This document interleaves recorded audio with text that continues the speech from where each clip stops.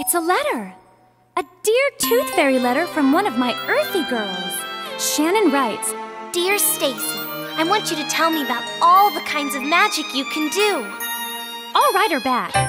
Dear Earthy Shannon, with fairy magic, I can turn a meanie upside down. I can make a happy laugh out of a grumpy frown. If an ice cream cone is small, I can make it 12 scoops tall. But I cannot make the magic that is you. Because you, special you, you are everything will be wing wonderful. There's a reason why our world needs splendid doodle diddle dee you.